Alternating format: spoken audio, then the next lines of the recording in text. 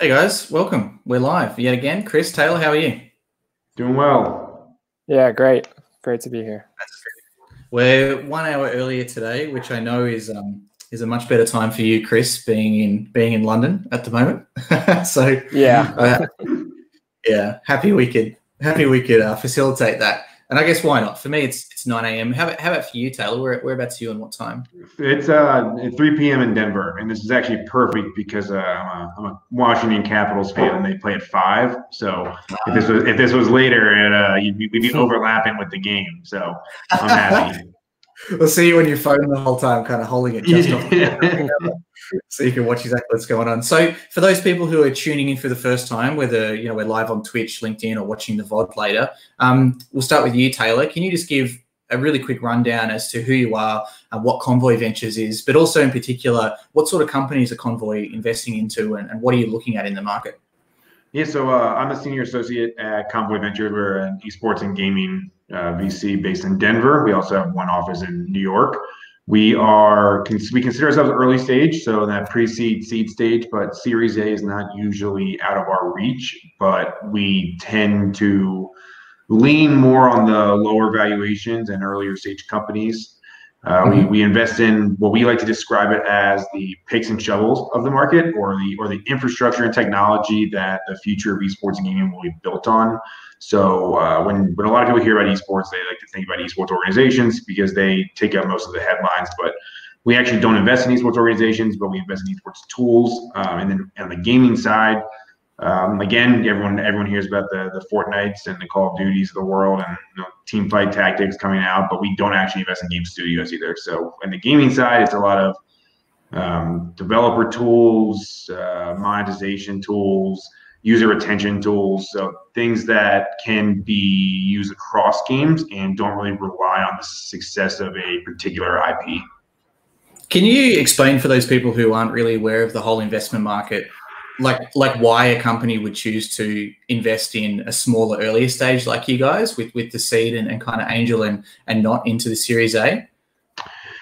So we, we like to go earlier because well mainly on our side it's based on just the, the risk reward. We're gonna we want to take larger positions in earlier companies, and while they do have a higher risk profile than a Series A company would have, that's that's hmm. already generating revenue. These ones offer us a greater potential appreciation of value uh, for for each dollar we put in, and um, we also get to work and kind of mold these companies and and, and build them with with the founders instead of joining the founders. It it almost mm-hmm. seems more like we're we're in this together instead of just piggybacking on a on a really strong company and and you know just adding a little capital to the fire.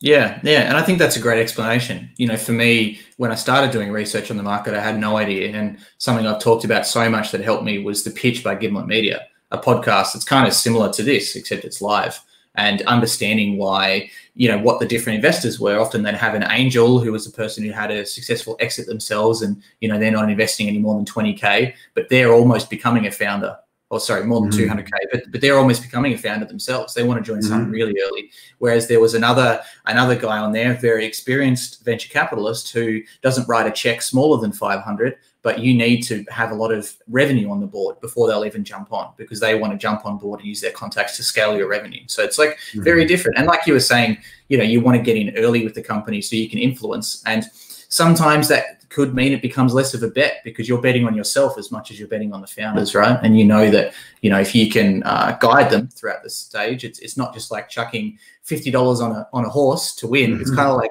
chucking fifty dollars on a horse, but also you get to ride it. yeah, exactly, exactly. Yeah, it's uh, it's it's it's fun this way too. You get the the founders are, are, are dreamers, and they you know they have a like a visionary mentality where you know you get to you get to come in and, and help mold this this grand vision that they that they bring to you. Yeah, yeah, exactly. All right, so that's that's Taylor. Chris, let us know a bit about yourself. Yeah, definitely. Um, so I'm Chris Day, uh, and I'm one of the portfolio managers at leAD Sports. Um, so leAD Sports is sort of uh, a bit different than what Taylor is doing. So we have a wider net. Um, so we're focused as a whole. So that's sort of three different verticals. Um, so it's connected athletes, which is things like wearables, um, fan engagement models, which can definitely be in the esports realm, but also for traditional sports. Mm. and then the third space where I sort of spend most of my time is in sports betting and then esports as well. Um, so we invest across a couple stages for a couple different vehicles. So we have uh, two accelerators, one based in Berlin, and we've just announced a second one uh, based in Lake Nona, which is in Florida. Um, is actually the first smart city um, based in the US where there's going to be 5G enabled technology throughout the city. Um, and then we also have a seed stage investment vehicle, which for the most part generally does follow on investing in our accelerator investments, uh, which mm-hmm. are very early stage, so pre seed and seed. Um, and now we also have a Series A fund called the Advantage Fund, which does Series A investing. It seems to me like a lot of similarities between what you guys are doing and almost like if you're running the, imagine you're running the summer baseball coaching camps for the high school kids. It's like you get to train them, but then you get to really see them from the foundation as to who's the best. And that makes sense for like what you're saying with your seed investment, right? You can kind of help to train these people as they're really early in the piece. And then you can find out, okay, I've got a wide, I've got a wide net of companies. And also I've got a large amount of companies that are funneling through this funnel. You know, let me just cherry pick the best ones out of here and then, you know, chuck a little bit more cash into them and get involved. Is that is that right? Yeah, definitely. So we've done in three years, we've done 32 investments um, because each of our cohorts yeah. have between five and 10 startups. Um, so it is, you know, ultimately we, we can't support all those startups going through the through every um, avenue um, and every part mm-hmm. of our vehicle. Um, but what we hope to do in an ideal world is have some of our companies be invested in from each uh, individual vehicle. And as you said, I think it's really exciting when you can see a company grow from I mean, in our first year, we very much had some companies that were just a, sort of a deck and a team. Mm. Moved a bit later stage now, but I think that's just generally the market in general. Is it's easier now more than ever with sort of no co- no code tools for a team to actually develop at least an MVP product. Um, so we are slightly later in the companies we're seeing now, um, but I think that's just mm. a testament to the resources out there for entrepreneurs now. Yeah, fantastic. So, getting straight into it, the first of three founders that we have in here today is Bill Freeman from pureskill.gg. So, the bio for himself before we bring him in is We are building an automated coach for video game players. We use statistics, data science, and artificial intelligence to assess a gamer's skill in different categories and give personalized advice on how to get better. So I see some similarities between uh, a previous AI coaching company, TryHarder, that we had on. I think it was last last time, so 2 mm-hmm. weeks ago. So we're really interested to talk. And you know, Bill Freeman, as as listed on his LinkedIn profile, also has a PhD. So I'd assume he knows what he's talking about. So it should be an interesting chat. We'll get him in. Bill, welcome. How are you? I'm doing good. How are you? Yeah, good, mate. Good. Well, you've got the floor for the next next 10, 15 minutes before we launch into a bit of a Q&A. So go for it. All right. Thanks. Uh, thanks everyone for uh, for having me. So um so one of the reasons esports are so popular these days is that people are actually playing the games that they watch. They want to see how the pros are doing things, how they how they do, you know, how they do things the best. Right? So these games are most of these games are competitive multiplayer games. So they have some kind of rank system. So to many people playing, it feels like they're stuck in a lower rank than they deserve. And this issue is so common, it's got a nickname, right? Elo Hell. Um, and so that's exactly who we want to help out with uh, pureskill.gg. So to get better at a game, you need to navigate tons of tutorials, tools to try to find the right one that helps you solve your specific problems. And so there are thousands of guides on YouTube. Um, and as well in CSGO, we have these custom maps like target practice, spray control, movement, jumping, retakes, deathmatch. Uh, it can get overwhelming. Um, and so if you don't know your own problems, you need to get some help to figure that out, to lead you to the right source to help you get better. Um, so one way to do that is to hire some kind of coach, like an experienced gamer, for something like 15 bucks an hour. Um, there are some sites like Gamer Sensei or Snowball.gg that, that do this. Um, but to work with a coach, you need to first look through a bunch of ratings and reviews, find one, message them, coordinate on a time, and then at the end of the day, they look at about an hour of your gameplay. And many gamers we found play more than like 20 hours a week. So in fact, this coach, you know, if you hire them for one hour a month, is going to miss, you know, 99% of your gameplay. So they're not even going to see most of the mistakes that you make.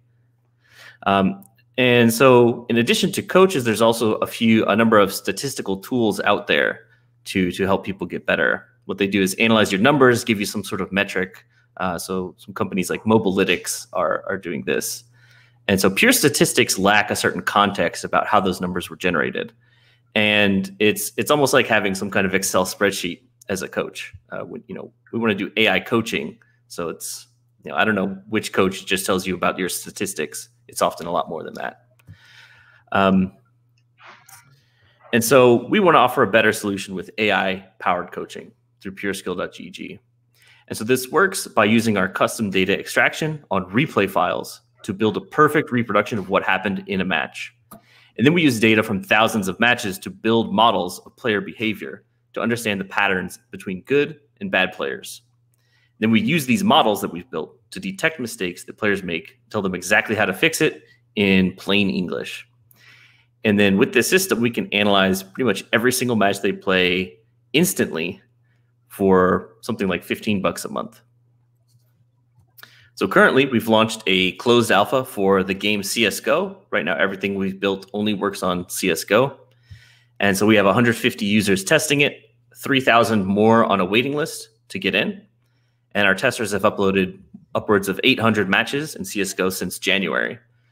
And um, what we do, what our, what our current state is, we can extract their data in the cloud and visualize that data that we extracted in a convenient 2D demo viewer in the browser.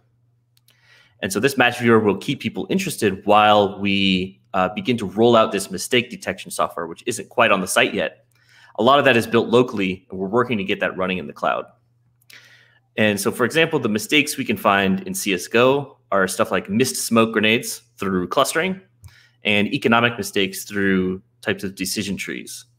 Um, so I have a, a statistic for you guys, uh, Chris. I know you said you're a CS:GO player, but uh, I looked at economy for one specific mistake, and it was buying nothing on the first round in CS:GO.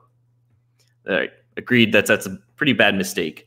Thirty-three percent of all silver players are making that mistake, and it's very easy to fix by buying anything. And so we could just tell them once we detect something like that, we can just tell them, "Hey, we noticed this here's something that you should do instead. Here's a guide, you know, the existing guide on economy that you should go and check out. Um, and I also want to mention that the uh, this 2D demo viewer that we've put out as basically our MVP. There are two sites, Noesis and Theorycraft.gg, who have 2D demo viewers as their only product and are charging 15 to 10 bucks a month. Um, so uh, moving on to our, our uh, team, our co-founding team of three all met in grad school about five years ago. We've been an official company for about 10 months. Our CTO, Evan Sosenko, has a PhD in physics and also works as a senior software engineer doing a lot of back-end development. He's played a lot of StarCraft, Dota, CSGO, and EVE. And I actually know that he's built some sort of EVE tool that helps EVE players that's pretty popular. I don't really know what EVE players do, but uh, you know he's, he's helped a bunch of players out in the past. Um, our chief science officer, Ethan Batson, has uh, MS in physics, works as a data scientist at Bungie right now. Used to work at uh, Minecraft. And um, I have a PhD in physics as well, worked as a data scientist at a few places. Right now, I'm full time on pureskill.gg. I've been on more than a dozen CSGO teams, as well as a few Dota and Overwatch teams. I've actually won money playing Overwatch, you know. Um, and, uh, you know, a while back, I actually wrote this pretty popular Reddit post that was a calculation on how many loot boxes it took to get a full set of Overwatch items. And there were a couple of articles about this from like Forbes and Polygon. And then two months later, Blizzard changed how the loot box system worked to reduce the number of duplicates. So, you know, Overwatch players, uh, you're welcome. I'll unnecessarily take credit for that. Uh, but basically, I'm saying that we we we're not only gamers. We have you know this intense technical background. We also have been writing sort of software to help gamers out for years. And so right now we're basically looking for around 50K in pre-seed funding that will enable us to bring the assessments that we've built, this mistake detection, to the front end, as well as update our looks a little bit. We focused a lot on functionality uh, up to this point. And so after our first assessments are out there, what we want to do is create um, basically an early adopter program that gets people like early access to new assessments for like a pretty small monthly cost and then some added benefits once we finally launch. So crucially, this will get us towards that monetization uh, sort of state. And so we're really looking for the right investor who will help us either with later larger rounds of funding or can help us get more connected to the game industry, either through pro teams or game developers. So we're really looking for the right person to to help move us forward. So we plan on eventually supporting Fortnite, League of Legends, Rocket League, uh, Dota, StarCraft 2. And so uh, that's pretty much it. And we're hoping to find an angel who will help us get gamers out of hell. good, good stuff. But before we kick off, I just wanted to know what what was the what was the number of loot boxes in Overwatch that was like, required to get full set? this was like years. This was like three years ago, maybe two years ago. It was like fourteen hundred Hmm. loot boxes. Fourteen hundred. Wow. And, and how much does it cost per to acquire a loot box or to open one? Ooh, I don't know. I think it's like ten bucks for four or something like that. Mm. I don't know. It was a lot of money. Yeah, yeah, that figures out to be a lot of money. Yeah, there was a there was a Senate inquiry into loot boxes in Australia. Even you know, it got down here. So Right. And you know, that that was motivated by a lot of people just not understanding loot boxes. And so I was hoping that this post would help people understand loot boxes more. But I think it just caused more people to argue. But you know. Yeah, well, that's it from me. Chris Taylor, take it away. Yeah, um, my, my first question is: are, are you guys analyzing data from professionals or from you guys users to actually build out these models? Our users. Um, So, Yep. so how, how does how does this work? If I mean, if, if you're going for if your if your user base is or the target market is people that are in this elo hell, how are you how are you guaranteeing or how are you making sure that you have good data to compare to other users to give them give them pointers? Uh, right, good question. So we in CS:GO we actually have their their ranks as a player. So people who are global elite are in the top 0.5 percent, and um, you know realistically, what we're building is for people in like the bottom 90 percent or so. Uh, so so like um, basically we we know the tendencies of players as they increase in rank. So when a player's in silver, we can say, you know, here's what you need to do to get to gold nova. Here's what you need to do from gold nova up to the next level to level to level. And once they hit global, yes, it's gonna it's actually gonna stop working uh, to get them to the next stage. But you know, So, so there is a ceiling at which you you hit, and you guys believe your models won't really have much impact at, at any point. That's right. There are there are actually a couple of companies trying to do similar things for professional players. Shadow.gg, uh, Stats Helix, I think. Um, so the the professional market was not our target. And then, um, h- how is gameplay being siloed when you when you analyze it? Are you guys are you guys um, classifying an entire match as this is bad, or is it like specific highlights, like just the the throwing of a smoke grenade? Like that was bad, so we see this again. We're going to let somebody else know that that was also bad. How are you? I'm trying to figure out how the data you're analyzing is being like compartmentalized to to uh, be looked at later.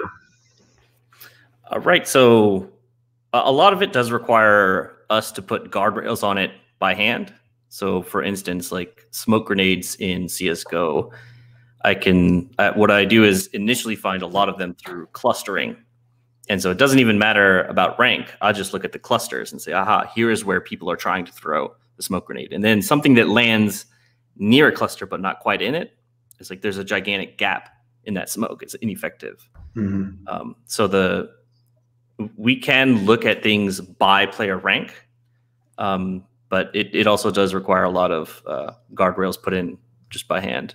And then can can you take this information and give users uh, pointers through it through like a, a, a training session or through like you know they go into a they just go into the map alone and get to practice this kind of stuff or how is how is the user getting feedback?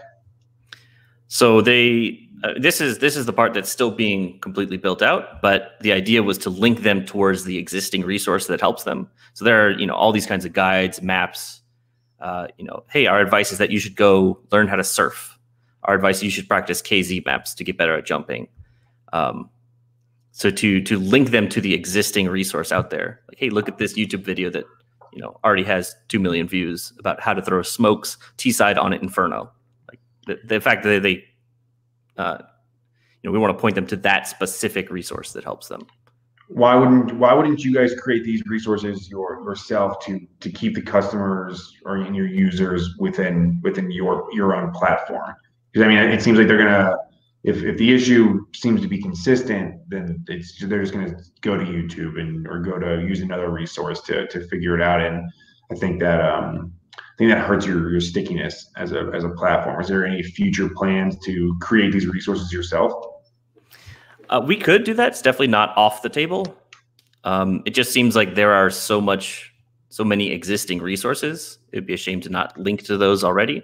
Mm-hmm. Plus, linking to you know these uh, you know existing influencers who have millions of views and people agree are you know almost authoritative say like here's that one video from that one guy that you already know that tells you what to do right so it adds a bit of authority from a third party that we may not necessarily have mm-hmm. um, but it's and, not uh, and then from a um, business model standpoint is there free is there going to be a free tier or something that kind of gets people in the door and, and what would that what would that look like Right, free tier. Um, it could be keeping that demo viewer uh, for uh, you know as our free tier. That help that demo viewer really lets you do a sort of self assessment, which is hard in CS:GO because the demo viewer in game is very janky.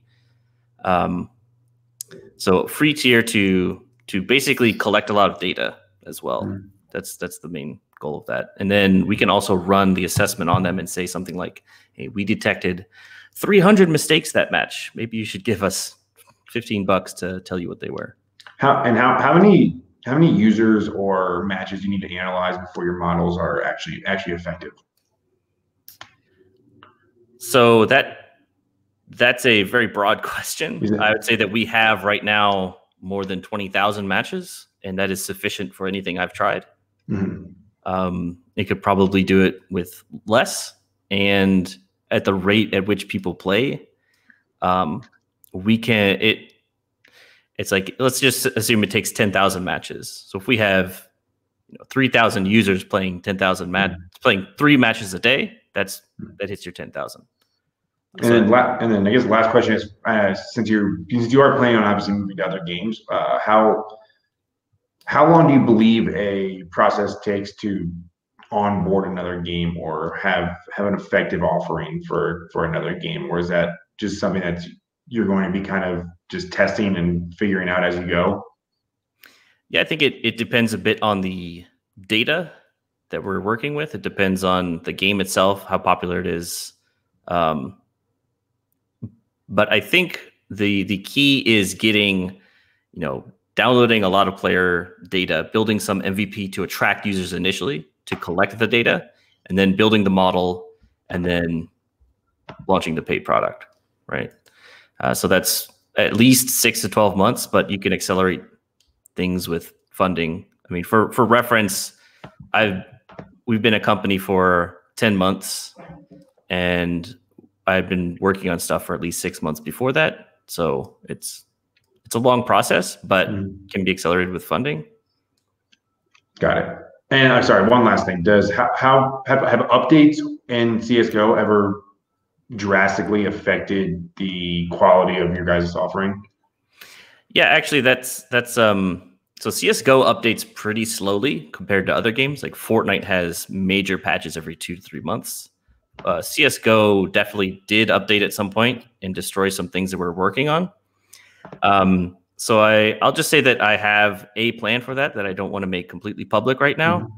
That's uh, uh, I can email you more details on that. But cool, awesome. Yeah. Thanks. That, that's all I got. Okay, great. Um, yeah, so it sounds like I guess for the user experience that ultimately they're gonna they're gonna play matches, they're gonna submit the video, and then they're gonna get almost like a post game report of the things that they should do differently. Right. Um, so is, is there any plans in the long term or do you see a way where you could actually be sort of giving live real-time coaching when they're playing their next games? Like have you ever looked at something where there could be an overlay actually within the game when they're playing? So we absolutely do not ever want to do that. And that's because of uh, there's this company called Visor.gg. They were doing that for Overwatch, and ultimately Overwatch said, that's cheating and banned them. Banned their, you know, their service from any anybody using that service would get banned. Okay, um, so fair enough. It's definitely um, close to cheating. Okay, and then um, so as you mentioned, sort of a lot of the decisions are sort of decision decision tree processes. Can you give a couple examples of like just you know outside of smoke grenades and um, those types of pre premeditated decisions where it'd be easy to come up with? What other skills are there that you could go into? Uh, so we we break it down into well, CS:GO would break down into like eight different skills. Uh, I mean, teamwork could be throwing smoke grenades at the same time. Teamwork could be do you flash your teammate? Like, I think um, you know, acknowledging good things is a part of coaching. So like acknowledging the good things that players do is is definitely part of it. So figuring out that a player, for instance, boosted another player, and that the player that got boosted got the kill, but the player who did the boosting got not, no no metric for that. So we can mm-hmm. we can actually have that as, as something we we provide. Um, so, so I guess in, in a positive way, then, so it's it's almost less of um, you know individual things, but it's more a holistic view of how that match went overall, and the specific things within that that they could do to uh, to improve. Uh, right. Yeah. There's there's good and bad things um, to. Uh, yeah. Oh, I'm sorry. I didn't fully understand. So, so I mean, at, at, first I sort of took it that you know you'd point out like five different things, but actually it's sort of yeah, as you said, it's it's going to take a more holistic view and understand how that individual thing plays into the overall gameplay. It's not it's not just the specific uh, skill within that game. Um, we we more or less are breaking it down into different skills. Mm-hmm. Um, that's a that's uh, it's sort of the divide and conquer method of solving the problem. It's a lot easier for me to say, uh, you know, did this was this flashbang effective? Did this smoke land correctly? Versus did this smoke lead your entire team to winning the round? That's much harder to actually figure out. Mm-hmm. Um, and I think just this this this whole business actually started because I was doing this sort of coaching by hand, and players in silver and gold nova are just very they have very basic problems. They they miss smokes, they team flash, they block their teammates. Um, just finding those things is extremely valuable because in my past experience coaching players, that's what I've told them, and they said it was valuable. Mm-hmm. And I guess that's why you're seeing seeing appeal, um, as I think was previously referenced, not necessarily to the professional esports uh, players, but more to the um, to the average player. That's right. Okay, right. And if if I think the maybe the the best way to think about it is really mistake detection. And as you get mm-hmm. better, you make less mistakes. Mm-hmm.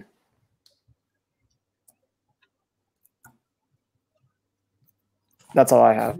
And uh, real real quick, um, uh, since you're only raising 50k, how how long do you expect that to to last you? And what what are the use of funds that you you think this will go towards? All right. So the since we've restricted the number of users and we're building this pretty much all in-house, our burn rate is under $300 a month.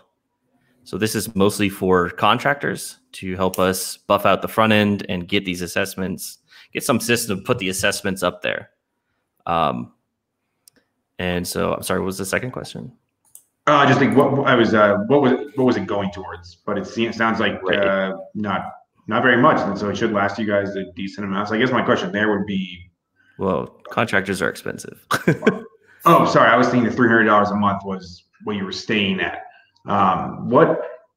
How, how does this work for you and your two other uh, founders from a from a salary standpoint? Obviously, this is you know not not paying yourselves. It seems like.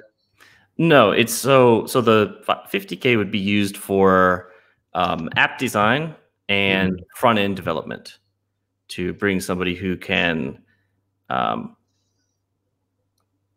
basically make it look like the vision that we have. Right now, we focused almost entirely on functionality. So it works, but it doesn't look very good.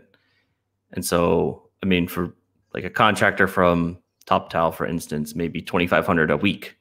Mm-hmm. So that, that'll last very few, very, very limited amount of time if, if there's ongoing front end work. But the goal is to just have something built and complete completed with that 50k. Got it. Got it. Okay, and, and then go directly into raising some sort of pre-seed seed round. Uh, I mean, the the goal was to get to monetization, so we'll see if we if we need to even do that. Um, but then, yes, later on, uh, like we, we don't need the funding to keep us running. We want it to move faster. Um, Got it. Great. Got it. Okay. Is there um, any any ideas at all from you guys to broaden your scope? It sounds like maybe there's some limitation if you're requiring direct players to submit um, their videos and only gather the feedback for them. Are you able to provide things like infographics more generalistic by scraping data from somewhere by down mass downloading demos from hltv.org and processing those to, to teach people in a in a wider sense rather than rather than specifically say just per person can you say that you know on average everybody needs to train in these kind of areas and, and push that out as a package uh, we definitely can as some sort of marketing thing um, uh, we've seen that be successful so like mobalytics pushed out a lot of infographics and youtube videos and they're they have a pretty substantial social media following. But at the end of the day, we need to convert to customers, to paying customers, mm-hmm. right? So um, that'll that'll definitely raise awareness. But if the product isn't good enough people to pay for, uh, it's not worth our time, right? We need to make. And is there a way? Is there a way for you guys to pull the the games that the people are playing without having to submit them. From, from, my understanding, it seems like they have to finish the game, have a recording, and then submit that to you. Can you automatically pull that data? CSGO introduced an API sometime in November or something, sometime late last year, and we're mm-hmm. automatically pulling demos as soon as people finish them. As soon as people finish yeah, playing, we can pull it. Yeah, no worries. All right. Any any other comments from you at all, Bill, or questions from Chris or Taylor? Um, no, I just I'll just say if there are any uh, data scientists out there who may be thinking about this would could be a fun project to work on, get in touch with me. Um, and I'm happy to answer any questions. You Contact me at bill at pureskill.gg. Fantastic. Thanks, Bill. We'll see you at the end. Chris Taylor, what do you what do you think? What do you reckon? Uh, I, I, definitely believe the, the, the future of coaching is going to be through these automated platforms that can analyze data quickly and just and give you recommendations that is definitely the more scalable model. Um, I definitely believe it is going to be. I think a lot of people are attacking this um, in, in, in different ways, but um, when or if a platform, and I don't believe that it needs to be just one, but if a, coaching platform does become the the premier one, it'll most likely be something like this because um, like like you mentioned, you uh, it, it's going to have to be post post game data that you're using instead of you know uh, during the game, and definitely not through um, live coaching or or training sessions. These things those aren't scalable, and obviously, like you mentioned, the with Blizzard um, considering it cheating, which which I, I do agree with them. Um, it's going to need to be something like this where I can up where I can just play my game and then go to the platform and they can tell me you did X, Y, and Z wrong. So I do uh this is I do believe this is a, a, a strong route to to go. Yeah. What about you, Chris? Um, I mean, yeah, it's funny you say that, Taylor, because I guess me coming from the traditional sports background, it, it, it, wouldn't I wouldn't really see it or perceive it as being cheating if you have like live coaching going on, because that's mm. sort of the way you generally get coached is actually in the practices while playing. Um, so you know, I'm, I'd be interested to see if the industry does stay that way, or maybe we do see a change and a shift from the game developers allowing those sorts of technologies to actually come about. Um, so I, th- I think maybe that's why I was struggling a bit with it a bit because I think that when I think about a coach um, in traditional sports, and I think coaching is applicable to any area, um, I think it's mm-hmm. less less about just saying what someone shouldn't do, and also helping them learn to do the right things. And so I think this is this definitely sounds like it would really point out your mistakes, but I'm maybe struggling to grasp if it's going to help users actually learn to be better. Mm, yeah, I think my like touching on like what you like what you guys were just discussing then there was there was another thing that came out from sound blaster many years ago and i think it was attached to their graph their sound blaster audio card um, the sound card if you put that into your pc it actually would have a separate hud that would tell you where the enemies are based on exactly where the sound is coming from so it was it was basically like cheating. And I don't think it ever got banned, but not many people use um, sound cards that you plug into your PCs anyway. Not since like the late '90s because they're not really applicable anymore. Onboard. Yeah, I, I, know Fortnite. Fortnite just allows you to just turn it on now. You you can turn on the uh, like a, a visual indicate indicator for where sound's coming from now. Oh wow, there you go. Yeah, yeah I must have missed that. Yeah, and and on the live coaching thing too. So for a long time, my understanding is that um, Call of Duty on console would allow the coach to stand behind the team and, and talk to them um, throughout while gameplay is happening. And that came into CSGO for a while in the E League era, but they killed it after a bit. So the coach could actually talk mid round and make the calls for it. So the in game leader no longer had to make the calls. So if you're doing that, you're at a massive advantage because the in-game leader, say legends like Khan from Fnatic and such, um, are never going to get that many kills because they're too busy thinking about what's going on throughout that whole time mm-hmm. to be able to mm-hmm. actually focus on their skill. But if there's a coach standing behind, they can talk. But they change that now where the coach can only talk mid-round um, to people. That's kind of like the, that's kind of like football now, where the the, the coach's mic or American football, where the coach's mic that goes into the quarterback's helmet automatically gets turned off after the yeah after you know I think it's 15 seconds left on the play clock. Mm-hmm. Yeah, exactly. Yeah, yeah, yeah. It's exactly like that. And it, they even went as far in CS 1.6 where every time you died as a player, you would have fade to black. So your screen would go completely black. So you can't even make calls for other people. Because often what happens in amateur teams, especially, is someone's trying to clutch 1v3 and their teammates are yelling stuff at them all the time. Hey, did you see that guy? Like all that mm. kind of mm. stuff. But obviously, if you're a better player, that can be quite advantageous. Oh, um, let's say I played uh, 4x3 resolution lot in, in CS to keep my aim the same. So that was going from CRT to a widescreen. So I would have black bars on the sides. But that meant for me that I would sometimes miss people on the left or the right because I didn't have as wide of a field of view. But I saw the advantageous thing that I wasn't great at aiming anyway, so I wanted every advantage I could get mm-hmm. to make sure I could still aim well. But I would sometimes miss people off the corner of my screen that other people could talk about. So yeah, it's a really interesting one. Some some of my opinion on it, you know, as a as a massive nerd of Counter Strike in the past, and I always talk about that my team was was young and inexperienced. And the reason we were able to get up to top four, top six in Australia in a short period of time is because we were complete nerds about the game. So something like this really does interest me on a personal level because I would ask myself a lot of those questions. I would watch a demo of Xizt from from NIP and say, why is he checking that corner first, second, third? When does he throw a grenade? When does he pre-fire? You know, why is he doing these things? How do these people hold certain positions or attack certain parts on the map? I think that's good. The only bad. The only negative thing for me is a lot of the time I think people don't want to listen. And it was really hard for us to get five players who wanted to do that because no one wanted to go that in depth with things. A lot of the time, I felt like people just wanted to be spoon fed information. They wanted to just become better. In those days, especially in Australia, people would brag about not watching demos and replays and how much aim practice they did and how they could be good without trying um, which is, I think it's an Australian thing, part of our tall poppy mm-hmm. syndrome and such as well. But that was part of the reason why us as inexperienced youngsters could come up so quickly because we had did have that advantage. So if they can find those right people, but you're really interested to see as they roll out yeah, what the user feedback is from them and whether, you know, just those general infographics and stuff is enough to, to really keep them going on and to get people interested in the platform, whether people do really want to dive like super deep into what they're doing and where they're going wrong. There's, um, you know, I think a lot of people don't like criticism either. And to the fact that um, I know in the past, some CS 1.6 pros have said never watch your own demos. There was some quote that my team captain, who was our best players to love to use, which was like, never, you know, I don't watch my own demos. It's like masturbating or something like that.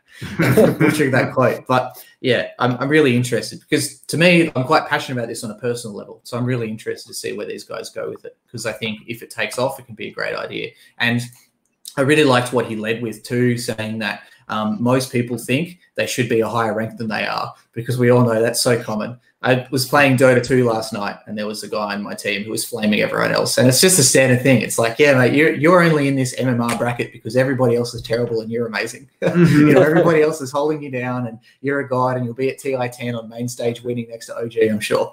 But at the stage, you're at three and a half MMR just because everyone else sucks. So, yeah, that's, yeah, yeah, that's always a funny thing, too.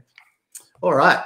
So the next person we have in is Cody from Coach Dody. So his bio is to be a positive influence in gaming for mental and physical health and lifestyle. They want to promote a smart approach to learning skills such as reading and mindfulness through coaching in gameplay. So we'll add Cody in. Hey, hey. Cody, how are you? Doing great. How about you? Good, good. Thank you. So, mate, you got the next 10, 15 minutes to take the floor. So, take it away. Awesome. Thank you. Uh, so, hello, hello, guys. My name is Cody Lefevre. It's an honor to be here. Really grateful for the opportunity. Um, first off, I'd like you to think about a coach in your life who made a huge impact, um, whether it was elementary, middle school, high school, professional life, sports. What was their impact and what about them made them a great coach? Um, for me, it was without a doubt my high school lacrosse coach, Mark Wilson. Um, he was a big advocate for the term student athlete, and he'd always say, uh, student comes first. And I always thought it was corny as a kid, but now I kind of understand the importance how being a student of the game, regardless of the game, how much that contributes to your performance. Um, so no pressure. Does anyone want to share their answer of an impactful coach?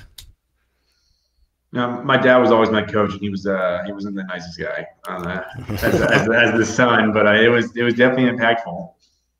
Yeah, I think the weird the weird comment about not watching your own demos that was probably the best coach for me. He was our, our in-game leader, our main fragger, and our coach at the same time. A bit of wizard in Counter Strike. Um, and yeah, I mean, I, actually, I've had a lot of good coaches um, through both um, playing poker, tennis, and now Olympic weightlifting. And I do think a coach has to take a holistic view of the person, um, not just the individual skills that they're coaching them on. Sure, love it. Thanks for sharing, guys. Um, so personally, I've been blessed to have many great coaches and teachers, and the impact that one person can have on your life in a short 30-minute conversation, an hour session, a whole season is just amazing. Um, so recently, I had a conversation with a friend. We talked about how many people never get that opportunity. They never have a great coach in their life. And um, think about the esports industry. I don't see a lot of coaches who have much experience beyond the video game world or coaches who you'd consider like a classically trained educator. And not that that's necessary, but I hope to bridge that gap and give players a balanced and smart approach to physical and mental training. That's not just going to help them improve their gaming, but extend much beyond that. Um, so today I'm looking part for a partner for my esports coaching business. Uh, before I get into the details of kind of my longer term plans in the business, I, I feel it's important to give you my background. Um, so I have been playing sports and video games for over 20 years. Uh, I played college lacrosse for four years and graduated with a business and economics degree from Ursinus College. Um, from there, I went to be a substitute teacher and high school lacrosse coach for three years. And right right from the start i knew how much i loved it and felt the rewarding experience of it. So i went on to the university of northern colorado got my master's degree in elementary education. Uh, there i had a lot of great teachers um, that shaped my philosophy um, taught me many concepts and ideas i was not aware of to begin with currently i'm a full-time pe teacher i coach high school lacrosse and i've been coaching fortnite for a little over two years um, it's been so rewarding to see the growth with players. Um, often in a session, with a 30 minute hour session, I can see 5, 10, 15 percentile point increase with a player, uh, especially if they're at the lower ends. Obviously, at the high end of a player, those percentage points are lower. But the amount of growth you can see with um, high level coaching, I think, is really amazing. Um, so, but after about a year and a half of coaching Fortnite on Fiverr.com, like a freelancing website, uh, I went on and was featured an article in the Washington Post on esports coaching that talked about a bunch of different games and different coaches. And then more recently, I've been promoting my coaching on TikTok and recently amassed uh, a little bit over 7,000 followers in two months. In terms of my plans for the coaching business, I have a lot of lot in mind, a lot of ideas, but I'm open to all feedback, all types of partnerships, um, open to all the possibilities. Um, I've coached over 250 players in small group, one-on-one sessions, ages six to 50, all across the world. I've done a couple sessions in Spanish. Um, I really love doing it, and I would love to continue doing that. Um, more recently, I'm working on some plans to run some esports camps. I got two or three in the works right now, hoping for summer 2020. And I really think that's a great opportunity. As I'm sure you know, esports camps are relatively new.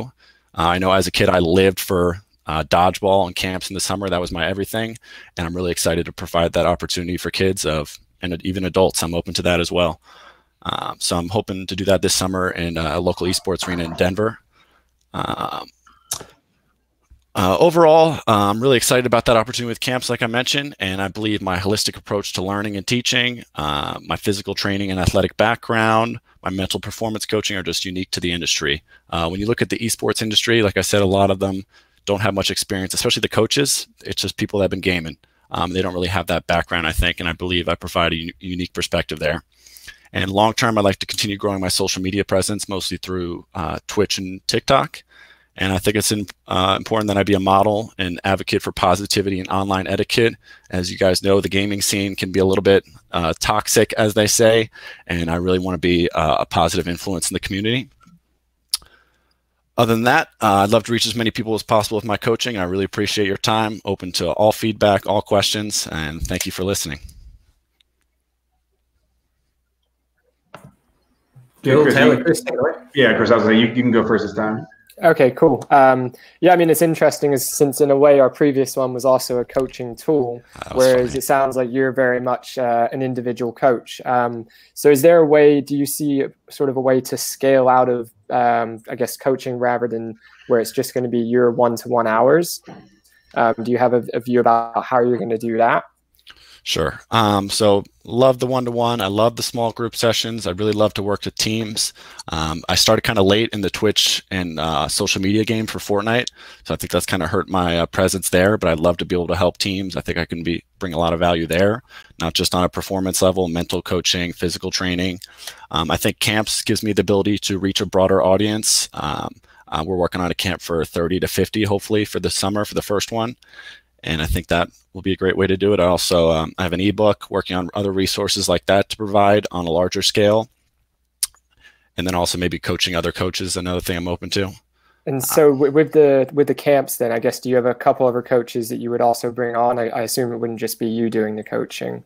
Sure. Yeah. Um, so actually, for one of the camps, we're working on doing multiple games. So not just Fortnite, and I'll be collaborating with coaches from other games to create a curriculum.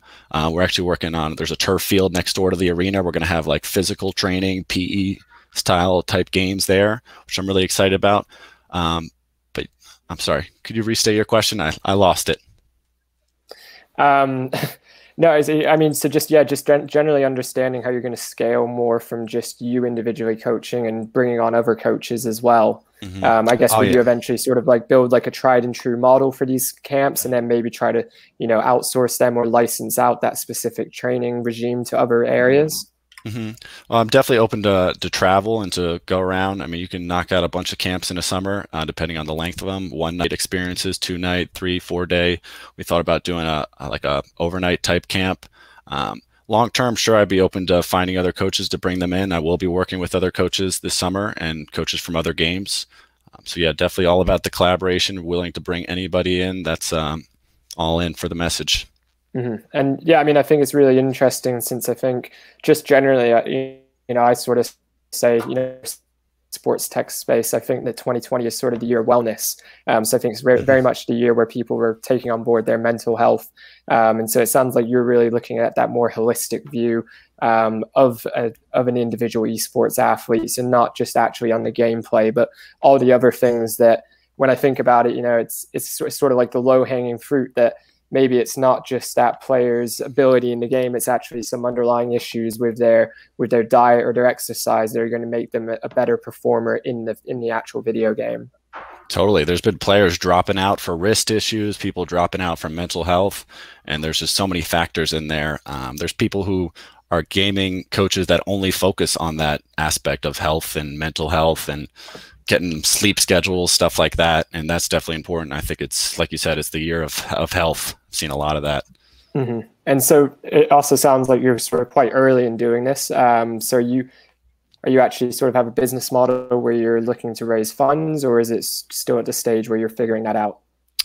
Um, I'm definitely willing and looking to raise funds. I'm not asking for um, a ton. I'm just look, kind of looking for five to 10,000 would be like that sweet spot for me. Um, I'm open, like I said, to all possibilities and, and larger, um, but that's kind of what I would be looking for. And yeah, we're in an early stage. Um, I've been doing the coaching for about two years now and working on growing it, just starting the camp thing this summer. Really excited for that.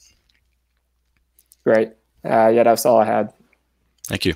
Um, how how does your background translate to helping from the mental aspect of um, of gaming? Because I, I do believe there is uh, the, the one issue that we're going to find as esports professionals grow up because they start at such a young age is that they don't know how to handle mental health issues.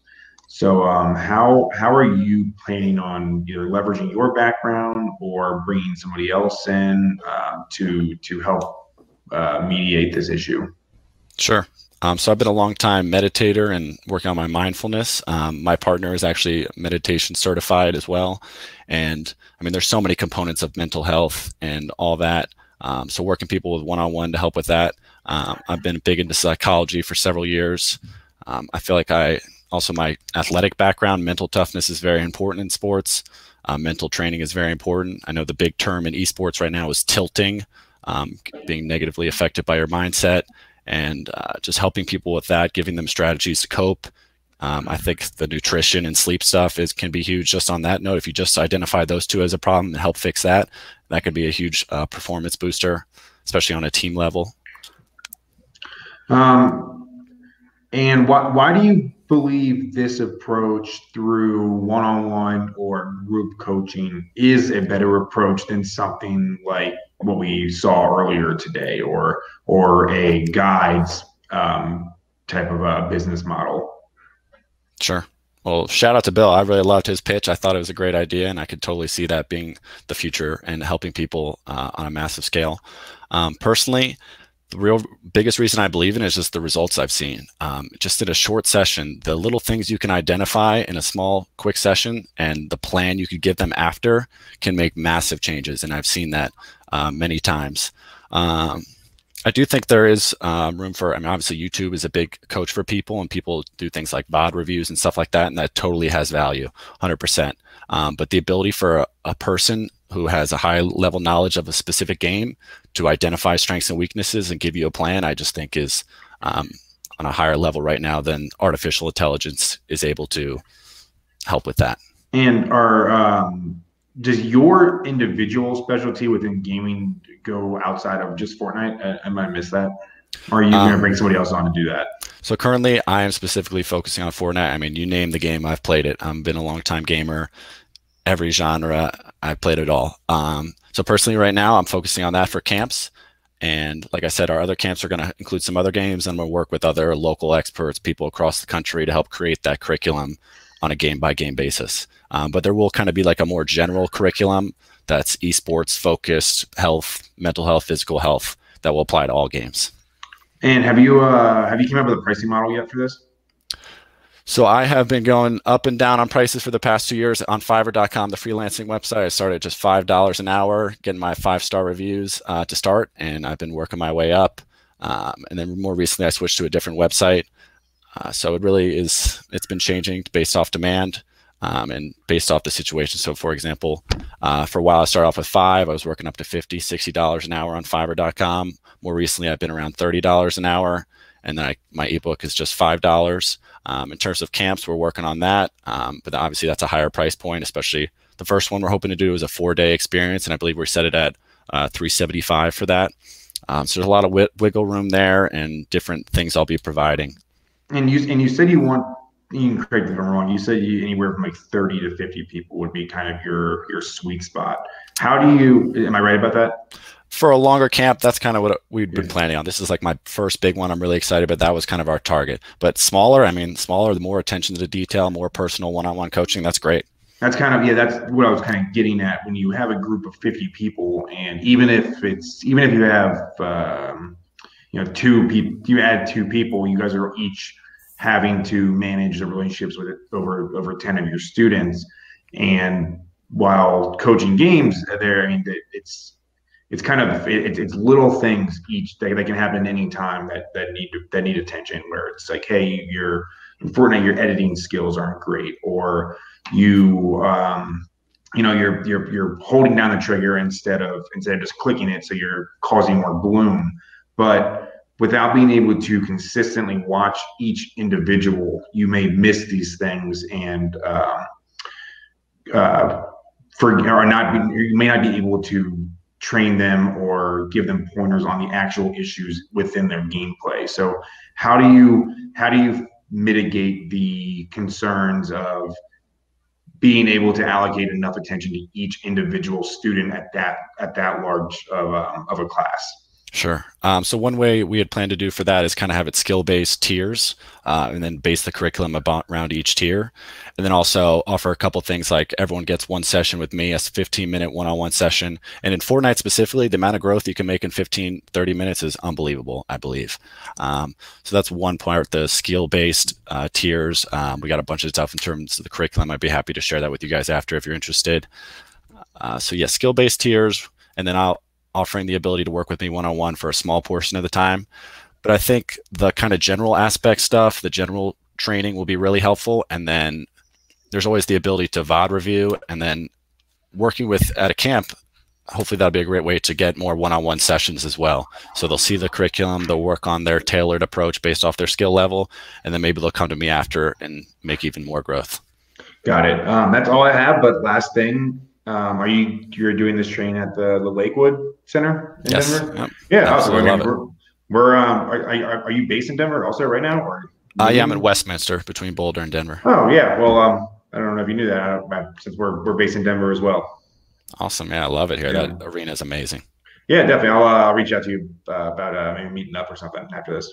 Cool, sounds good. Yeah, it's it's really interesting having the um, the comparison between you know the AI service that's just been on for coaching and then also the personal. I think that it's it's it's common that sometimes like us tech nerds can forget what it's like to be coached by a real person and to have them to mm. understand our needs and to work with us through things. And we always look to, you know, how can we have that scalable platform? But then it's always it's it's also that way up of um, you know, a scalable platform is is what an investor is often looking for because they're looking at that large company valuation and are you capped? But I think the summer camps thing sounds really interesting to me. Mm. We tried something similar in Australia. It didn't work for us due to a few different reasons, but also a smaller market, and we did it too early. But I'm really interested to see how that goes because I know that you know there's even soccer camps that happen here in Australia that are you know multi-million dollar businesses, and they only run two three camps a year. You know they'll they'll fly out a, a B or C tier um, you know, football player from London, chuck him on the bill, and you know, get thousands of kids through. For, and he'll go and spend three seconds with each with each of them. They'll fanboy out, and their parents will happily fork over 100 to 300 dollars for that coaching experience. But you know, I guess at that stage, you're you're functioning almost as much as a child minding service as you are as a coach. but yeah, sounds interesting to me. Yeah, any any uh, future comments or, or questions from you guys at all before we move on? I'm good. Cool, cool bananas. All right, thanks, Cody. We'll see you at the end. Thanks, guys. Appreciate. What do you guys think? It's good uh, opposites from from number one to number two. yeah, yeah definitely. definitely, definitely different. But um, I, it's it's interesting the way you you phrased you phrased it uh, as a summer camp because I actually when I was younger I did do summer camps which were for I mean not, mine were for basketball but they they were all day events and it was just playing basketball for eight hours straight. So um, while this while he well he wants to, to frame it as a coaching and training uh, camp this this could easily be something where it's like a, a video gaming summer camp where you just come and play.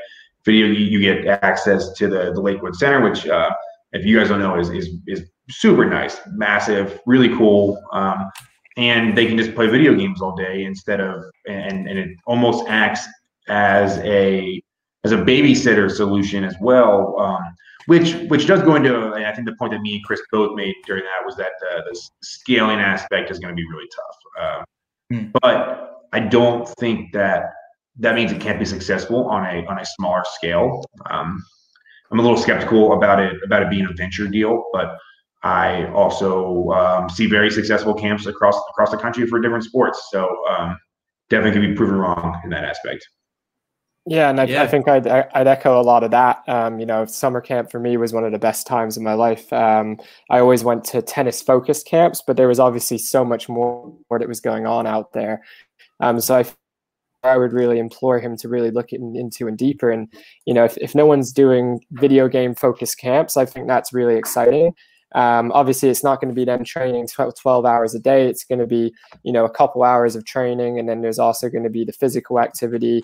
Um, and again, you know, the, the big movement in the world right now is people are going away from communities, but I think communities are so essential for people uh, to thrive. You know, that that human interaction. Um, taking away the coronavirus for a second, um, I think, yeah, I, I, think maybe it's not a venture case, but I, I think there is a very interesting underlying business model there um, that he should explore. And as you said, Chris, if you start bringing in a couple, you know, well-known professional players or professional content creators, um, that mm. could really sort of, you know, up the prize for, you know, a very small amount of extra work, um, and that could be very interesting. Um, yeah, when you think about like a Ninja sponsored um, summer camp where you know he comes and speaks speaks for it's really just going to up the pay grade a bit. Yeah, exactly. Yeah, I, I remember seeing someone comment this on Facebook many many years ago, um, asking Fnatic why they why they haven't done a summer camp. You know, this was probably way too early for them to do it, but it would be awesome because a, a multi team organization like Fnatic could bring you know, one guy from Rainbow Six Siege to run that in a section, a guy from Counter Strike, a guy from League of Legends, you know, all these different games, and you can have that multifaceted like esports coaching festival where the kids can go off and learn about different games they want or, or one game. And I guess it's you know, like what both of you are saying about you know venture capital versus where your funding's from. I think for those people watching, that's why it's very important to understand um, who you're who you're pitching to get the money from and who you need to be pitching to get the money from because sometimes people are looking for different stuff. Sometimes the VC is only looking to invest in something that's already making five hundred thousand dollars revenue and will be, you know, with a guaranteed exit or a planned exit or, or death within three to four years, kind of thing. But other times, some people are wanting that different type of scalability.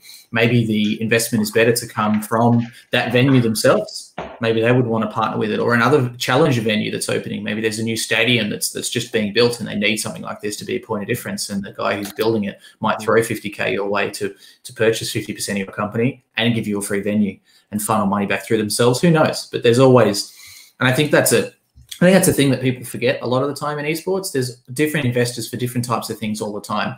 And I've seen in, for example, sponsorships go down for, for very particular reasons. You know, maybe a big retailer has become involved with an esports team and Razer's trying to win over that retailer. So it's in Razer's best interest to throw 50K at that esports team, whether they think it's worth it or not whatsoever. And you know, it's similar with investments, right? Sometimes there's you know very wide ranging reasons as to why people would invest. So keeping that in mind. All right. Next up, last but not least, Roberto from Esports Mania. So he explains it as a startup that has the objective to communicate, expand, and spread esports in Mexico and Latin America by generating inclusive experiences for anyone who may be interested in understanding, learning, or participating in the esports industry within their business model, they're focusing on three different units, and I'll let him explain that as part of it. I think for, for anyone who's been following my content, I've been trying to talk with a lot more people from from Latin America. Um, I've been trying to talk to a lot of people, particularly from Mexico and Brazil, because I think it's a pretty underserved market, and there are tens, hundreds of thousands of very passionate esports fans there that are that are really loving that that local stuff. So really interested to hear what he has to say. Roberto, welcome. How are you? Hi, hi guys. How are you? Good. Good. Good. We've got the floor. Maybe next 10, 15. Take it away.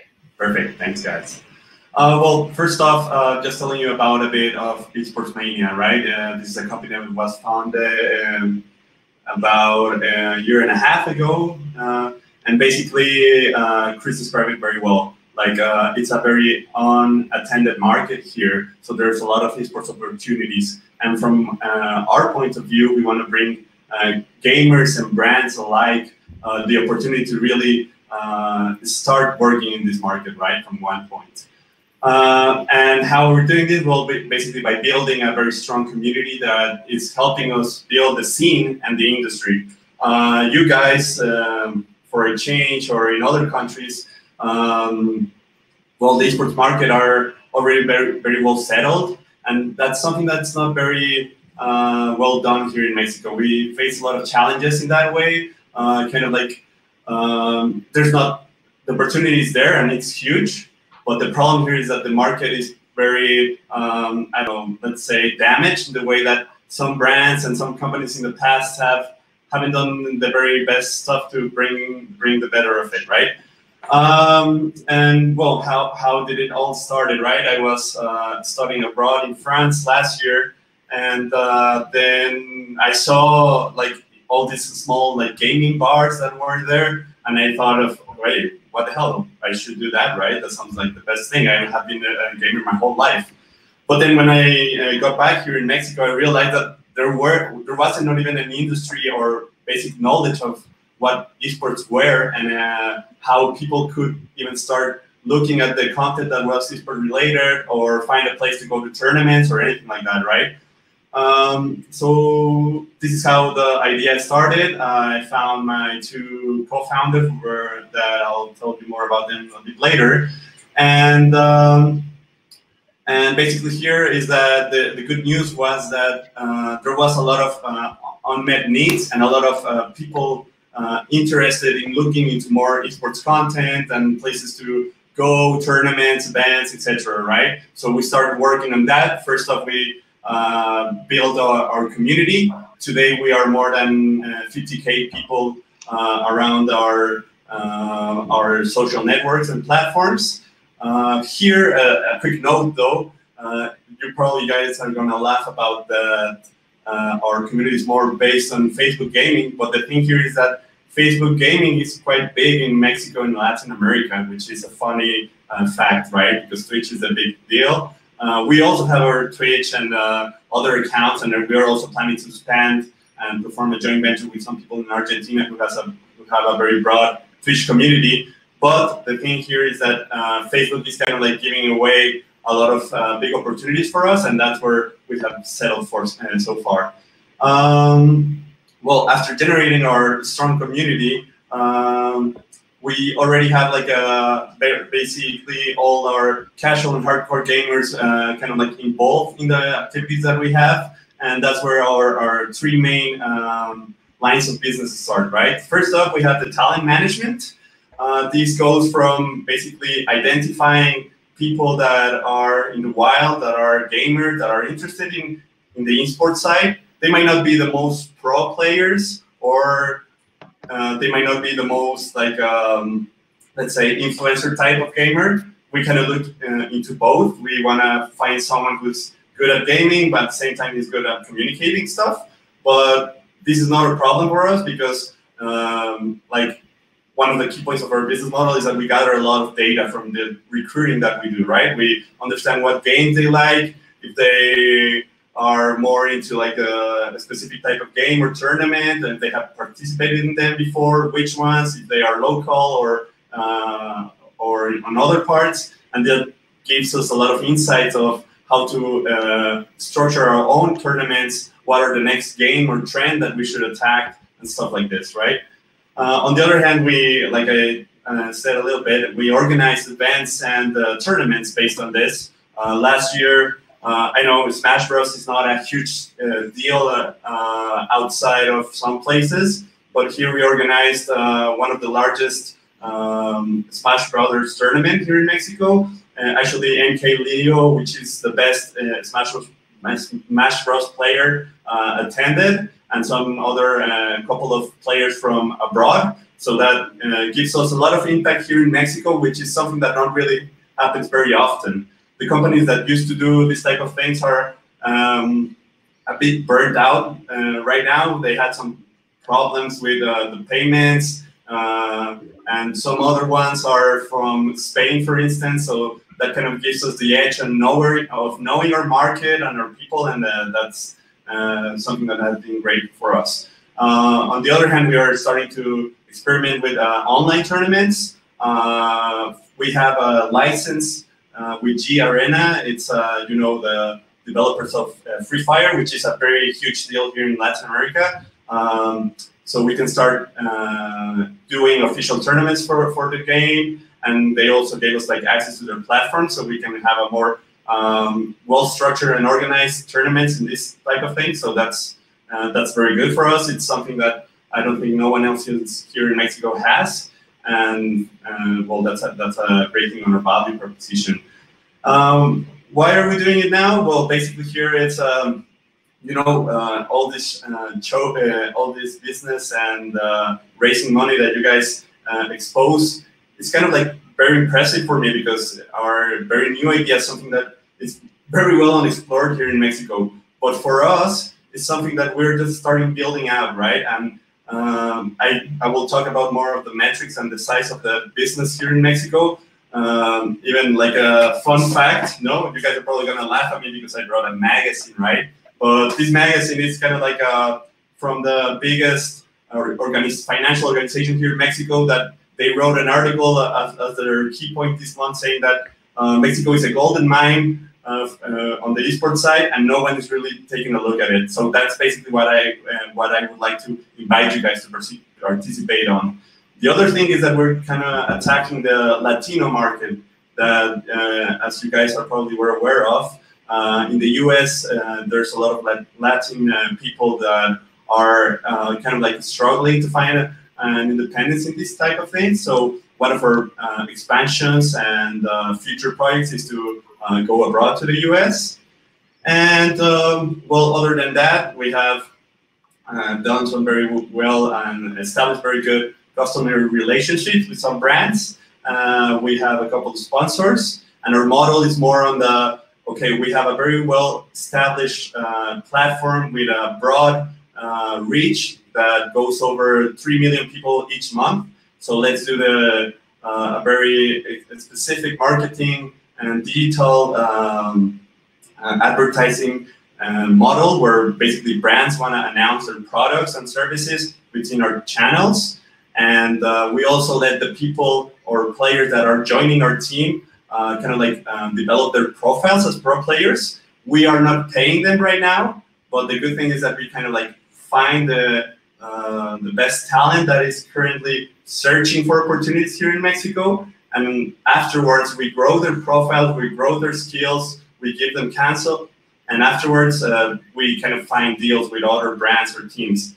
As well as uh, we're looking for an expansion on this um, on this business line, looking for team management, where we are uh, looking at um, non esports clubs that are looking to uh, develop a new team and kind of want to understand why they uh, why the esports are so big. Uh, we have talked with a couple of them here in Mexico. Uh, so, uh, as you may know, like soccer here in Mexico is a big deal. There are a lot of clubs here, uh, but they they all want to go with FIFA, right? And we tell them that that's not the best thing. We give them the whole broad strategy and what would be the best, how they can reach the people that are interested in these things, and how to relate with them. And what else? Well. Um, I want to talk about just a bit about our uh, co-founders. One of them is Armando. He's my cousin. Uh, he's like our financial expert. We want to see him as the you know the little Zuckerberg that we have here because he's quite young. And on the other side, we have Victor. He's our digital marketing specialist.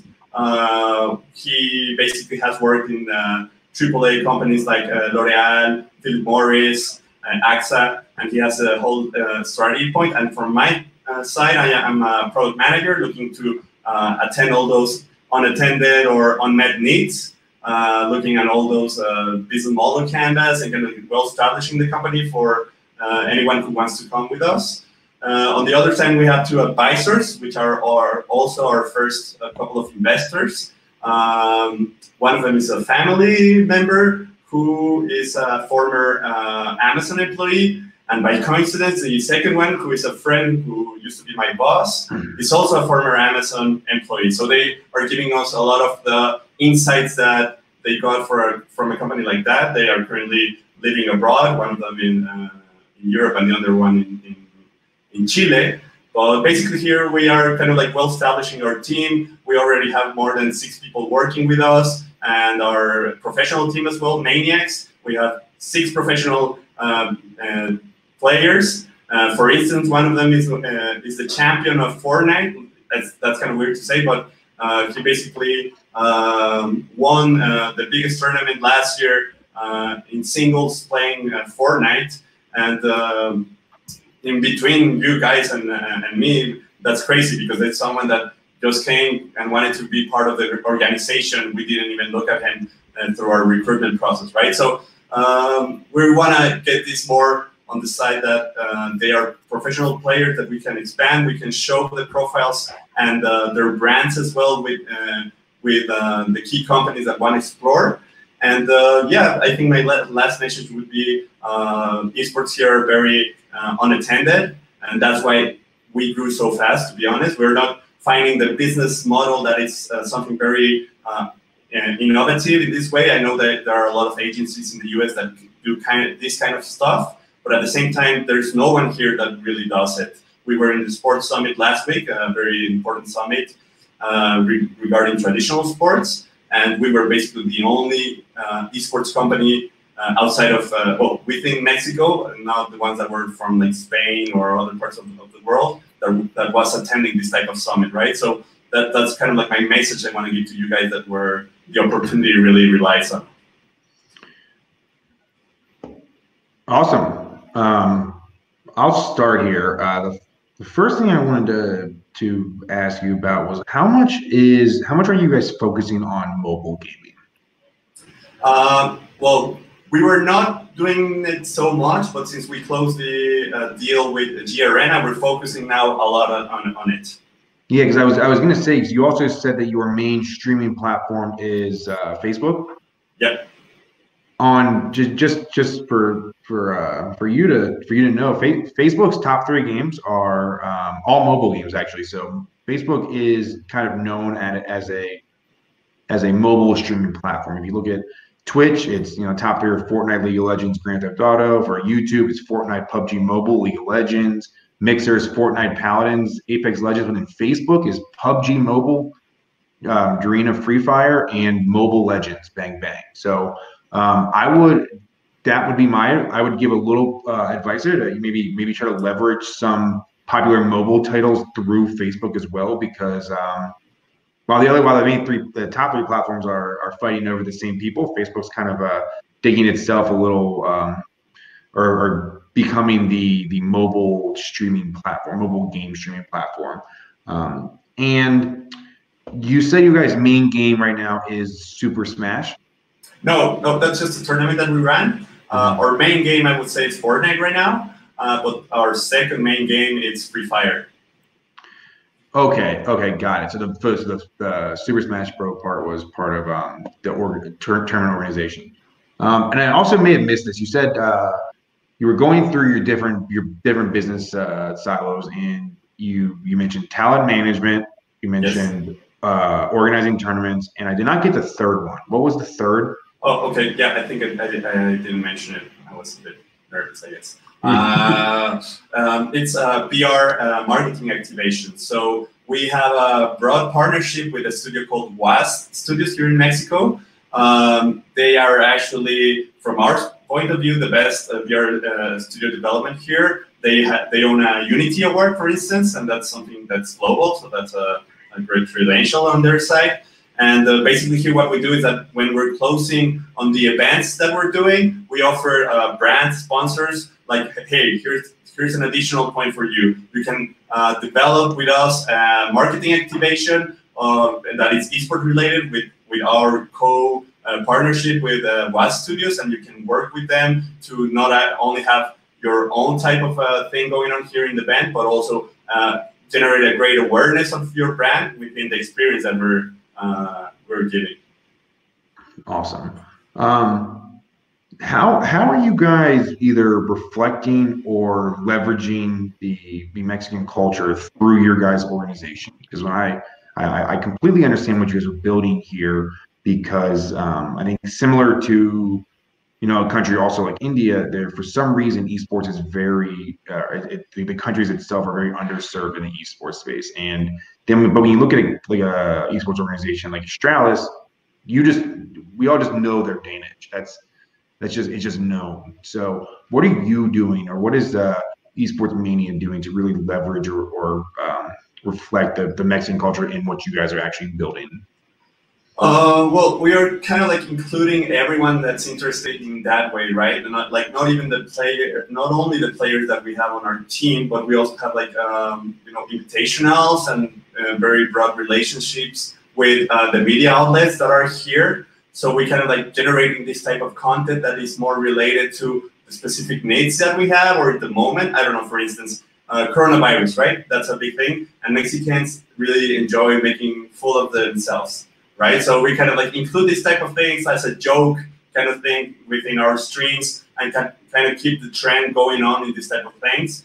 Uh, as of giving it like the you know the salsa that is uh, more Mexican based in these type of things, not only um, by having uh, like general esports content that uh, other organizations may do, on the other hand, as well, we do a, uh, a lot of analysis on the data that we have, right? So uh, we kind of like seek where our uh, viewership is more focused on, on what uh, states of the country they are, and we kind of like uh, trying to keep up with the uh, kind of like I don't know, maybe there's a broad audience related to Fortnite in one of our states, right? So we kind of like give that information and intel to our players and streamers, and we focus that on our calendar as well of content, and we kind of like uh, relate more on that side with, with this type of information.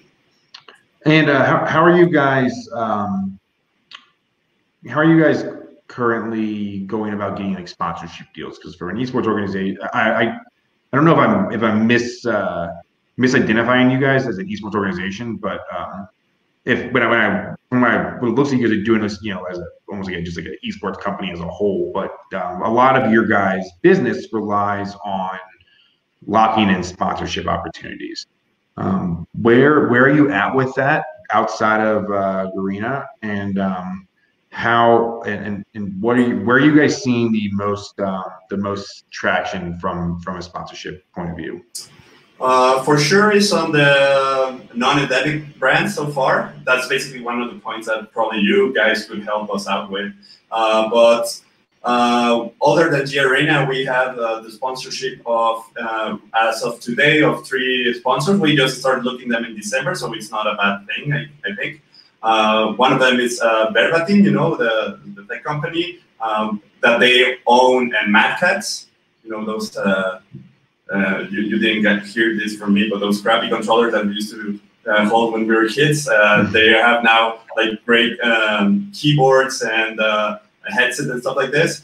And uh, we also have a partnership with a, uh, a local legal firm that focuses on esports related stuff. They just wanted to generate a brand awareness on their side.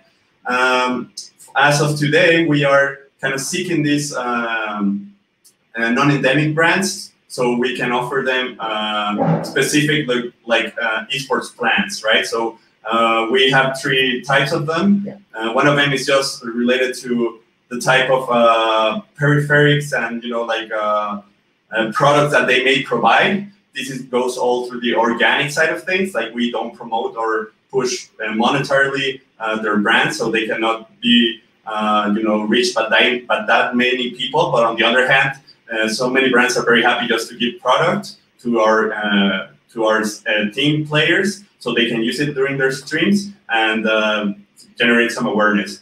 But the other plans, that the revenue driven, are the ones that we basically generate a plan uh, for each queue or even a, a, a yearly plan where we uh, offer them, of course, that we're going to invest some of that money into their uh, reach and the, the platform. That's where Facebook Gaming has helped us a lot it's very, you know, like um, easy to basically find a strategy where you invest some money on it and it reaches, I don't know, uh, from 100k people, you can get to 1 million, right, in one single stream. So things like this is what uh, what we're offering them in a plan basis. Um, and then, are there are there any comparable? I, I know you mentioned there's some some um, organizations that are similar to you guys from like Spain, but are there any comparable uh, organizations or companies doing the same thing in Mexico right now? Yeah, uh, I think our two main competitors are um, mm, Skill Esports, which uh, is basically an agency as well. They have been in the market for almost five years now. Well, we have a, a, good relationship with them, right? Since we're all building this industry and this uh, scene, uh, we are kind of like all pushing forward to build the cake, right? But uh, what I can say uh, regarding them and us as a differentiator is that we have a very well engaged community, and also they are uh, just uh, I don't know, like we grew uh, basically the same type of community in one year and a half, and they have been doing it for five years, right? So maybe they were not in the, in the right time that they started, but for us, I think we are in a very good time. So because we have grown at this rapid pace. Got it. That's a that, that's it for me. Okay, great. Um, yeah, so you mentioned obviously you have uh, 50,000 fans um, on the the wider scale, and then on the talent management side, how big is the the sort of pool of talent that you're managing at the moment? Uh, we have uh, eight professional players. Um, six of them are Fortnite. One of them is Free Fire, and the other one is uh, Mortal Kombat.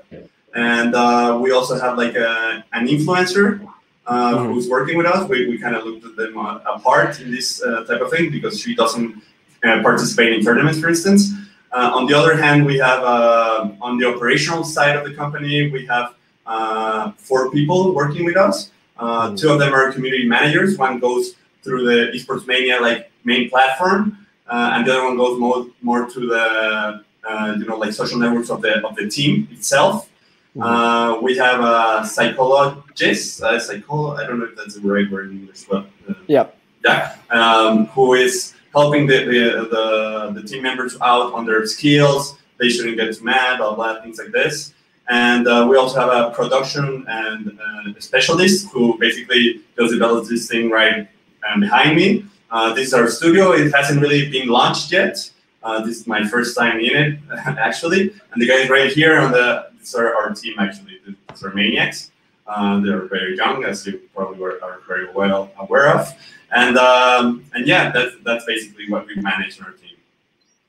Okay, great. Um, and so at the moment, I guess, have you, are you facilitating just brand sponsoring esports mania as a whole, or would they be sponsoring individual talents within the uh, the organization?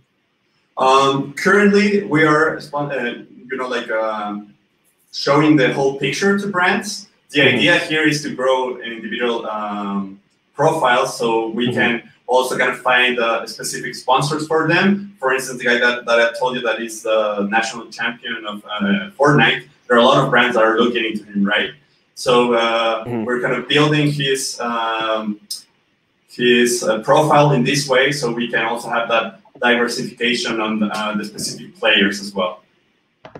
Yeah, no, because yeah, that's what I was sort of getting at. Is it feels like in the in the long term, you're almost going to be hopefully sort of a sponsorship marketplace. Would that be wrong to say? Um, you know, I wouldn't like to say only uh, sponsorship marketplace in that way because I know uh, that's one of the things that esports has been struggling a lot on the uh, revenue management, how it's going to work, and sponsorships are not a big thing for the long-term basis. But uh, as of like the midterm, yeah, you can kind of look at it that way because it's going to be a hub where we are basically uh, raising a lot of um, metrics, right? We're giving them KPIs on a specific uh, differentiators so we're kind of bundling these uh, these packages for brands so they can work out and kind of provide the specific services or product that they want to a specific uh, place that maybe they want to uh, attack hardcore players, right? Or maybe they want to go more on the mainstream side. So we're kind of like building all uh, all these scenarios. Yeah, no. Um, so yeah, I guess what I'm sort of getting at. So in our accelerator last year, we had a company called Pits. Um, so they're a Mexican-based company, and so they're attacking the traditional sports market in Latin America. Um, so what they've created is sort of a sponsorship ma- marketplace for amateur footballers. Um, so actually, so brands would be sponsoring amateur footballers.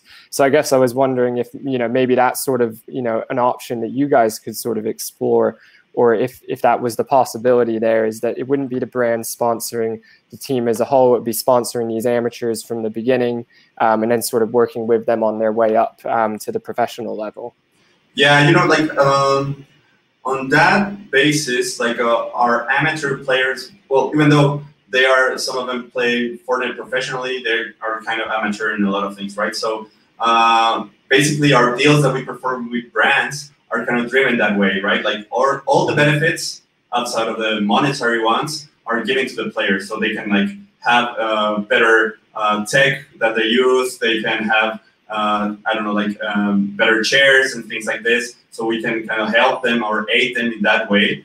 And uh, especially uh, from our side, we invest directly on their profiles, so they can like look at at maniacs as maybe not the professional uh, team where they go to like a gaming house and they practice all day long but they, they can kind of like build their profile so they can apply eventually to this type of teams that they're looking for and uh, we're giving the, that opportunity on that side. Okay um, and then out, outside of getting the brands what, what are the biggest challenges you guys are facing right now um, as a, as a whole? Well, um, you know, as one of our key like uh, growing aspects is that uh, we want to have a gaming center, and uh, that we are a bit struggling on that side because we don't have the monetary uh, option right now to do it. Uh, on the other hand, is that there's too much market that we haven't been able to meet, right? So there are a lot of brands that are starting to look looking uh, uh, they're starting to looking us for us to find a you know like how to, they can attack the uh, Gen Z people. Uh, there are a lot of brands that want specific uh, events that we are currently kind of like ditching because we're not uh, we don't have the powerhouse to to perform this type of events, right? So there's a lot of market, and we're currently not being to be completely honest with you guys, not completely being able to um, meet it all. You know, like have uh, all these type of proposals or or have a broader commercial team that may help us. Um, um, we just found our first uh, investment a couple of months ago, and I'll talk about uh, more about that later. But on the other hand, like uh, we are kind of like starting to uh, struggle on the side of the structure uh, of the organization, how we are going to kind of like start exploring on a broader basis, but also giving you know the support to this type of clients that we really want to work with. All right, great. That was all I had. Yeah, that sounds interesting. I don't, I don't think I have any more questions. I think you guys have covered covered pretty much all of it. So, is there anything else, Roberto, that, that you'd like to say, or any questions you'd like to ask at all? Uh, no, like um, you guys uh, been great. Uh, thanks for the opportunity, Chris, Chris Taylor as well. Uh, I, from my point, I would like just to add that maybe because of what I heard at the beginning, if you guys are not very interested in this type of business model, uh, I am sure that there are many of the companies that you relate with that could work out in this sort of way, right? So uh, I would love to keep on connect, uh, connecting with you guys, and uh, I'm available for whatever you want. Yeah, fantastic. Thank you. I see some uh, see some similarities between Esports Mania and and some things that I've done in the past. And I think my only concern is: is there too is there too much that's being worked on at the moment? Too many different things, or what do you what do you guys think? Yeah, I mean that that was exactly what I was going to start with. It feels like they're going in a lot of different directions, and sometimes I think you know in these early stages, it's about finding that core focus um, and figuring out what are you best at, and you know really going into that first, and then expanding out of it. Um, I don't think you want to cast too wide of a net too soon.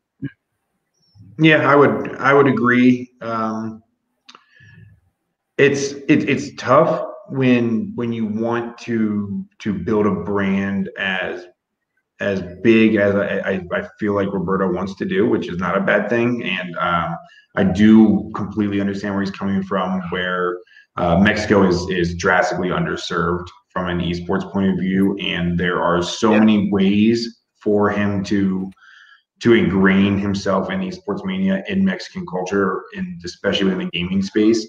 Um, but yeah, I, it, that that that most likely will be the problem where you over you know, at least in the short to intermediate term, you're you're you're good at a lot of things, but not great at at one thing, which which allows somebody else to enter the space as well. And um, that would probably be my my my biggest concern there.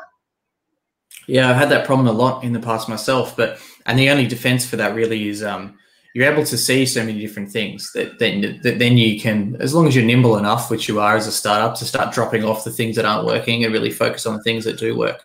And you know, talking about that a lot in my content for us at Big Esports in Australia, a lot of it was initially trying to focus on just that pure esports consultancy and really just trying to push that rock uphill all the time. And you know, one of our partners in the CEO of PlaySide Studios, Jerry, just said, just look at your revenue. Where's it coming from? And for us, it was coming from influencers without us even trying. We were getting 70% plus revenue from there. So it just made sense for us then to double down in that area and to soften up on the rest of it. But I can definitely see what you guys are saying about yeah, focusing on too many things it can be hard, and I've been there many times. been there many but times. but I, I really do like what he's doing there because this is actually one thing we we've talked about here before is that um, you know everybody thinks that there's basically three markets and it's Europe, uh, China and the U.S. But um, what we like to look at is these these emerging markets in this space, like like India and, and Egypt and South Africa and Argentina and obviously Mexico. And Um, there's there's so much room for esports to grow that I do believe there will be. I mean, like I mentioned in it, where you know when you think of Astralis, you you you think of of Danish, and that's that's their they they built that brand, and they've. I mean, obviously you think of CS:GO as well, but it's like they are the Danish esports organization. So um, I do I do really like what he's doing from this perspective. He's not just a another organization or another company that's just going to be equal to or or worse than everybody else doing the exact same thing. He's going to he's going it, it, it's probably at the right time. I, I, personally do not know enough about the the Mexican esports market that I probably should, but um, I would say I, I really haven't heard much coming from there. So he's he's definitely going in the right direction. Now it's just about focusing. Mm, mm. Yeah, that's that's really true, and I think you know, like like you were saying, they're focused on Brazil as well, and I've been shilling the Brazilian market for the past few weeks because when I did some research, it just blew my mind. The engagement rates across Twitter for Brazilian esports organizations is ridiculous. It's far higher than most other regions. Um, you look at the rise of Free Fire there as well. Corinthians, the team that won, have was it somewhere between 700k to a million Instagram followers themselves, and they're a single game organization and a mobile title.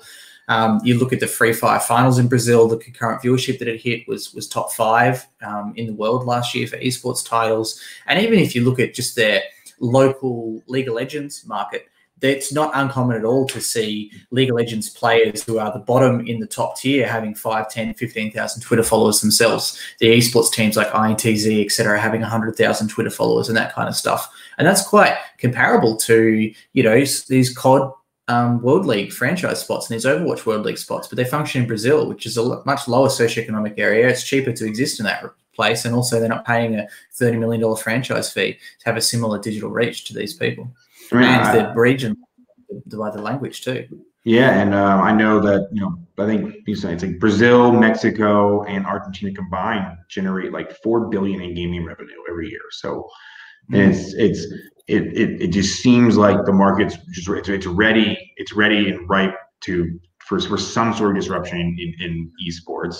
And um and it's just it's it's waiting to happen. I mean everyone I mean, we just we, we look at these these consistent charts and just you know esports is worth a billion dollars and it's just it hasn't even ingrained itself in so many markets to to get to the next level yet. Yeah, yeah, and that's that's part of what I like that Roberto was talking about is there's a lot of gaming, not just esports in here, and mm. you know, I'm doing some research for something I'm doing with KPMG coming up, and mostly that's around influencers and looking at the market size. It's not comparable, like you were saying.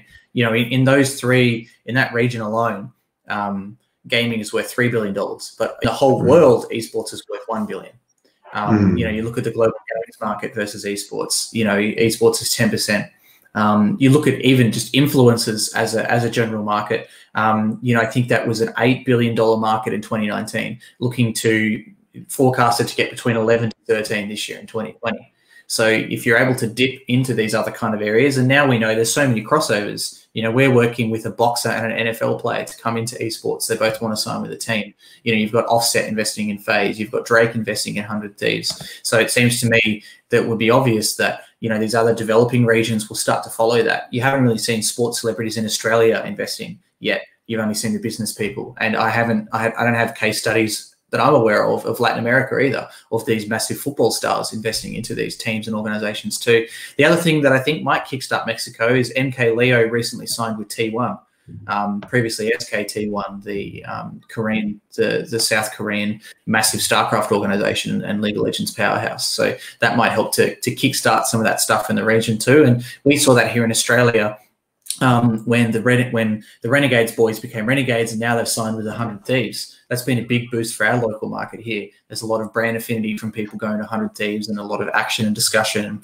And you know, Fnatic owns a Rainbow Six Siege team that's from Australia as well. So hopefully, we can see that start to come to Mexico, and that might be a way to kind of force the maturity of the market, get some more, um, you know, get some more big brand names down into there. Yeah, cool. All right. Well, We'll add all the guys back for the end of the stream. Bill, Cody, Roberto, welcome. Welcome. We'll start from, may as well start from left to right, the same order that, that we had you guys on. Bill, how'd you, how'd you find the experience? And was there any any other points that you wanted to bring up from our discussion? Uh, yeah, yeah, I really enjoyed the experience. I enjoyed the questions. Thank you guys for listening to my pitch. asking me all these really, really, uh, you know, hard hitting questions. Uh, I think um, I stood up for like 30 seconds, and when I got back in, Cody was like, "And that's why we're better than AI coaching." So I didn't quite, I, you know, I can't quite respond to everything, but I like I think um, you know, the difference between what I'm trying to do and what Cody's trying to do is really two different regimes right? So I, I, mentioned that like 30% of players have this issue on the first round of Counter Strike, they don't buy anything. And that's 30% of, sorry, like 25% of Counter Strike players is, you know, was that 4 million players? Like there aren't enough coaches to go point out all those mistakes. So we, we sort of operate in different regimes. I think um, there's definitely a way for us to work together. And, um, uh, you know, I think we, we both add value in different ways. That's, that's uh, yeah. Yeah, I agree. I agree. How about you, Cody? How was it? Uh, overall, awesome. Uh, on that note, Bill, when you're doing your Fortnite division, I'd love to talk to you about that. I definitely have some ideas there. Um, but overall, yeah. love the stream, love the setup. The format was great, uh, and really appreciate all the feedback. Awesome. And Roberto, fresh, fresh off and back in again. Yeah, well, I'm, I'm sweating like a pig, but uh, to be honest, like uh, for, for me, English is my second language, and I tried my best in that part.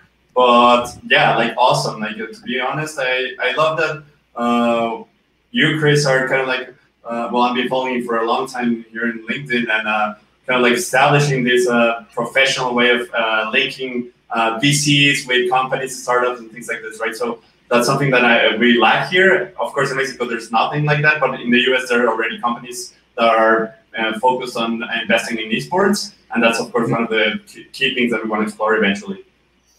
Yeah, I think for you too. Feel free to introduce me to some some more people in esports in Mexico. Would love to chat to them. I think um, I know that the Brazilians love to stick together. When I did one, I got requests from many, many more and many introductions. So hopefully it's, it's similar in Mexico and, yeah. and Argentina and Chile as well. I can start talking to some more cool people. Perfect. Awesome. Well, thanks guys, and and thanks to everyone who have has been tuning in live or watching the VOD later, whether you're on LinkedIn, Twitch TV, or watching this VOD on YouTube. As always, we're back again in two weeks' time. I think we're going to stick with this time slot, which is one hour earlier than what we used to have. So we'll see you all again in two weeks with two new investors and three new founders. Thanks, everyone. Bye for now. Thank you. Bye. Thanks, guys. See ya.